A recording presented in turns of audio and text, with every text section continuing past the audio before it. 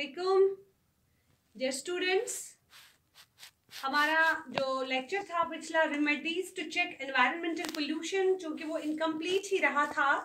उसमें मैंने खाली United Nation environmental programme discuss किया था और अर्थ समिट डिस्कस की थी। तो फिर से मैं थोड़ा let me have a look superficial look upon this topic remedies to check environmental pollution क्योंकि हम एनवायरनमेंट पढ़ रहे हैं एनवायरमेंटल पोल्यूशन से रिलेटेड एनवायरनमेंट से रिलेटेड प्रॉब्लम्स पढ़ रहे हैं तो उसमें हमने परसों में पढ़ा था कि एनवायरमेंटल कंसर्न्स जो है बहुत ज़्यादा है, वो हमने डिस्कस किए थे कौन कौन सा है तो उनको कंट्रोल में करने के लिए पोल्यूशन को रोकने के लिए कोस्टल पोल्यूशन को मरीन लाइफ जो डिस्टर्ब हो चुकी है, ये जो डिफॉरेस्ट्रेशन हो रही है सॉइल इरोजन ये सारी प्रॉब्लम्स जो है, इनको चेक करने के लिए क्या क्या स्टेप्स उठाए गए? उसमें मैंने कहा था कि पूरी दुनिया खामोश नहीं बैठी है। थिंक टैंक जो है they are working for this in fact sixties onwards जो है वो अवेयरनेस बढ़ चुकी है एनवायरमेंटल प्रॉब्लम्स को रोकने के लिए। और एनवायरमेंटल uh, प्रॉब्लम्स को रोकने के लिए पहली जो organisation under United Nation organisation काम कर रही है यूनाइटेड नेशंस एनवायरमेंटल प्रोग्राम जिसको तश्कील दिया गया 1972 में। तो वो डिटेल्ड मैंने डिस्कस किया मेरे पिछले लेक्चर में। तो एक और बात यहाँ पे मैं बताना चाहूँगी कि 1972 में जब यूनाइटेड नेशन ऑर्गेनाइजेशन ने ये एजेंसी इसी काम पे लगा दी कि आपको एनवायरनमेंट को प्रोटेक्ट करना है कंजर्व करना है और उसके लिए पूरी दुनिया में अवेयरनेस बढ़ानी है और हर स्टेट में आपको, हर स्टेट में अपने हेडक्वार्टर्स रखने हैं, लोगों को इन्वॉल्व करना है लोगों को बताना है कि एनवायरनमेंट को बचाना है और इन प्रॉब्लम से कैसे बचा जाए। तो उसके लिए ये ऑर्गेनाइजेशन काम कर रही है और तब से लेके 1972 में इन्होंने फिफ्थ जून जो है वर्ल्ड एनवायरनमेंट डे रखा और हर साल पूरी दुनिया फिफ्थ जून जो है वर्ल्ड एनवायरनमेंट डे मनाती है। और ये दिन जब आता है, पूरी दुनिया अवेयर हो जाती है हाँ अरे हमें तो ख्याल आए कि हमें एनवायरनमेंट को बचाना है, अपने माहौल को बचाना है, हमें साफ़ सफ़ाई रखनी चाहिए, अपने इर्द गिर्द साफ़ सफ़ाई रखनी चाहिए, माहौल को बचाना चाहिए पोल्यूशन को रोकना चाहिए। थोड़ी अवेयरनेस लोगों में आ जाती है इस डे को जब सेलिब्रेट वर्ल्ड वाइड किया जाता है फिफ्थ जून को।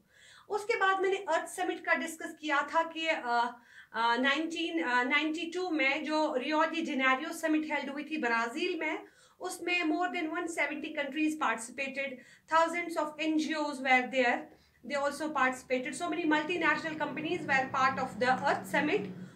और अर्थ समिट जो है अर्थ समिट से रिलेटेड ही है एजेंडा 21 याद रखिएगा बच्चों कभी कभार ऐसा भी पूछा जाता है एजेंडा 21 होता क्या है? Actually agenda 21 is the outcome of earth summit 1992 उसमें क्या हुआ? अर्थ समिट में you know Rio de Janeiro summit led to convention on climatic change याद रखिएगा जो अर्थ समिट हेल्ड हुई थी, वहाँ नॉर्दर्न कंट्रीज़ भी थी साउदर्न कंट्रीज़ भी थी। और दोनों कंट्री मतलब दोनों नॉर्थ और साउथ के बीच में बहुत ज़्यादा डिस्कशंस चले। कि एनवायरनमेंट को कैसे बचाया जाए, जबकि फिर जो डेवलपिंग कंट्रीज़ है, उन्होंने ज़ोर दिया इकोनॉमिक डेवलपमेंट पे इकोनॉमिक ग्रोथ पे।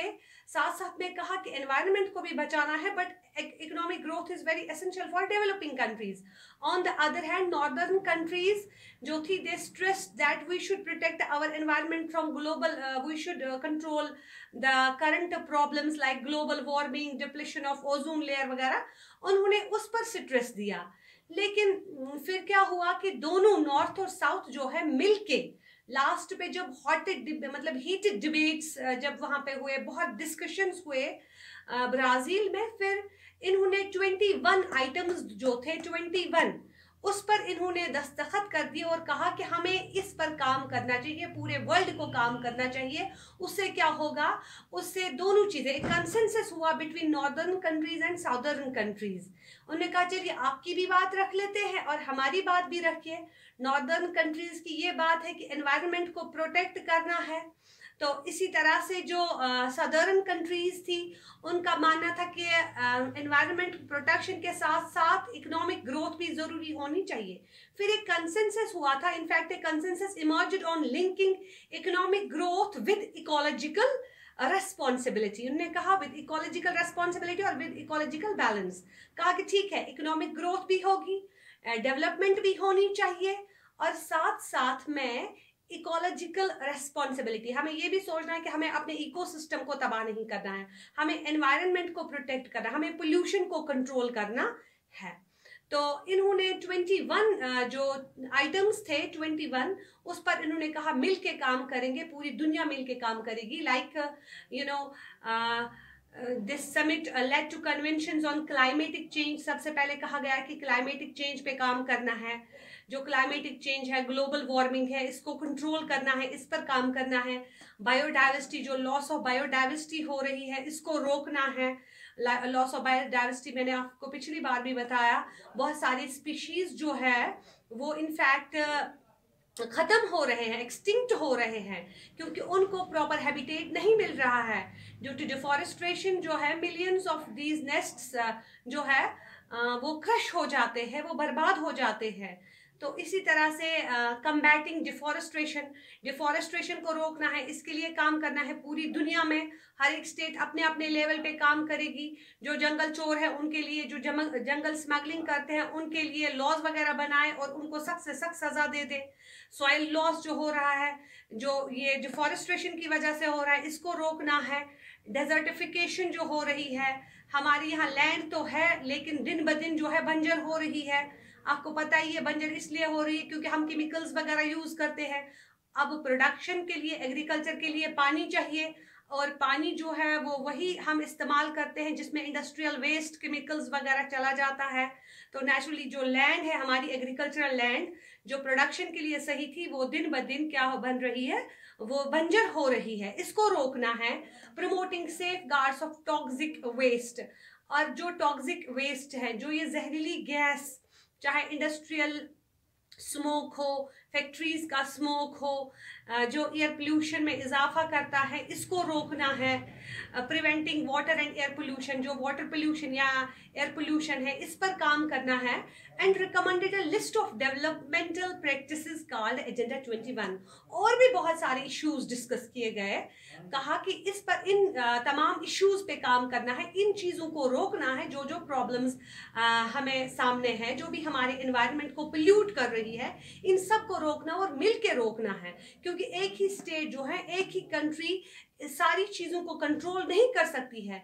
मे बी वो अपनी स्टेट को किसी हद तक कंट्रोल कर ले मे भी अपनी स्टेट को वो किसी हद तक यू नो प्रोटेक्ट कर ले, लेकिन आज जो है आप ग्लोबलाइजेशन प्रोसेस से गुजर रहे हैं, और नेचुरली हम एक दूसरे पर डिपेंडेंट है।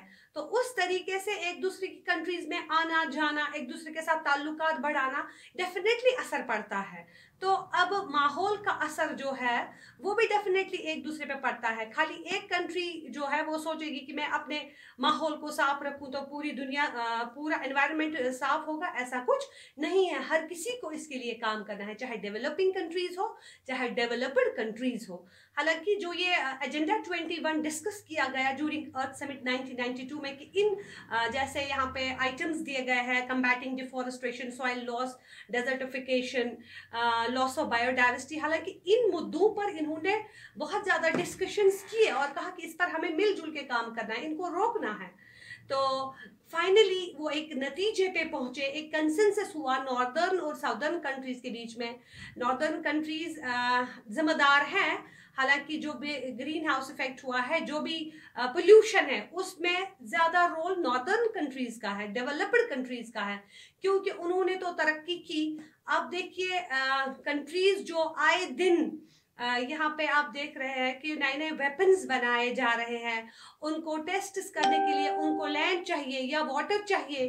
तो देखिए केमिकल वेपन्स है या न्यूक्लियर वेपन्स है, हमारे यहाँ 98 में जब हिंदुस्तान एक न्यूक्लियर स्टेट बनी तो पोखरान राजस्थान में टेस्ट किए गए। हालाँकि इन्होंने सोचा कि ये डेजर्ट है, यहाँ पे ही टेस्ट किया जाएगा। लेकिन ठीक है, मंजर है ज़मीन वहाँ पे, लेकिन पूरा जो एयर है वो तो पोल्यूट हो रहा है, उससे और हुआ भी।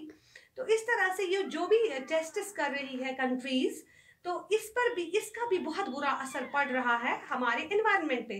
तो डेवलप्ड कंट्रीज़ तो तरक्की कर चुके हैं हर लिहाज से, चाहे इंडस्ट्रियल सेक्टर हो, चाहे एग्रीकल्चरल सेक्टर हो, चाहे हम यहाँ पे देखें आर्म्स के लिहाज से तो हर एक फ़ील्ड में वो काफ़ी आगे बढ़ चुके हैं और उन्होंने इन्वायरमेंट को बुरी तरह से पोल्यूट किया है।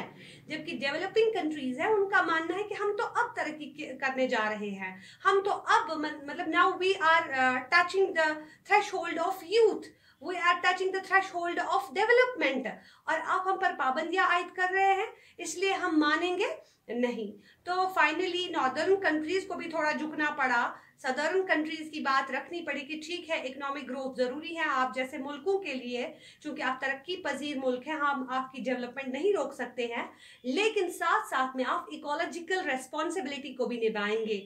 आप हाँ यहाँ पे जो एनवायरनमेंट है इकोलॉजिकल बैलेंस को बरकरार रखने में आप हमारा ताउन देंगे और कुछ ऐसे स्टेप्स अपनाएँगे जिससे एनवायरनमेंट पोल्यूट नहीं होगा।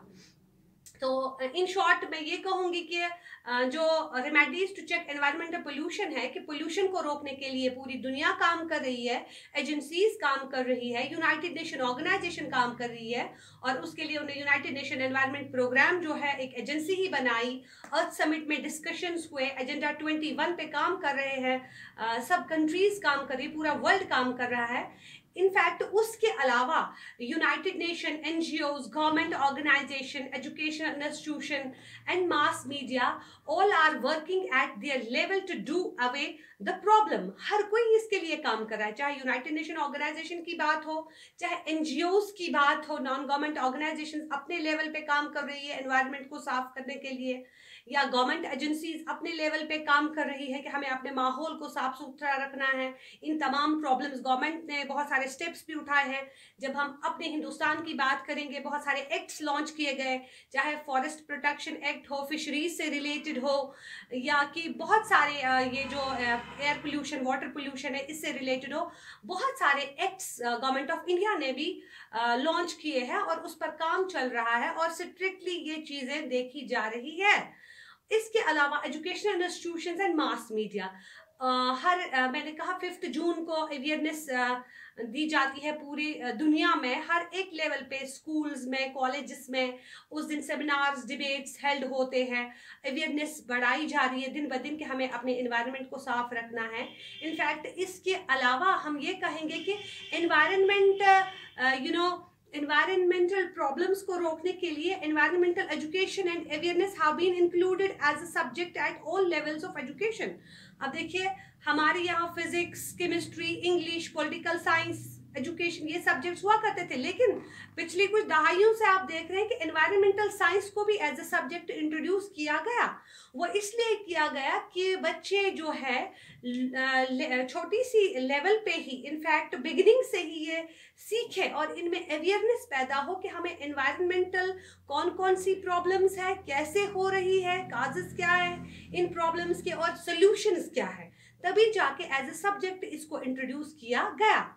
तो या कि फिफ्थ जून मैंने अभी आपसे कहा है प्ले कार्ड्स लेके छोटे छोटे बच्चे चलते हैं, घर में अगर अनपढ़ माएँ भी हैं तो उनको भी बताते हैं कि आज पाँच जून है तो इसलिए पूरी दुनिया जो है एनवायरनमेंट डे मनाया जा रहा है। अपने माहौल को साफ़ रखना है।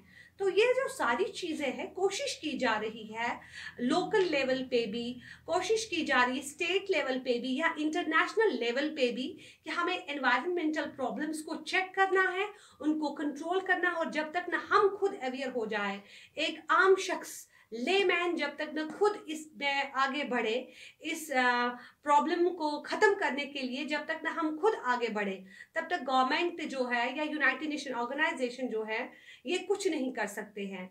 तो इनफैक्ट हमें अपने घर से शुरुआत करनी चाहिए, हमें अपने माहौल को साफ़ सुथरा रखना चाहिए और कोशिश करनी चाहिए, जितनी भी प्रॉब्लम्स हमारी वजह से हो रही है, इन पर हम कंट्रोल कर लें। आज के लिए इतना ही, अल्लाह हाफिज़।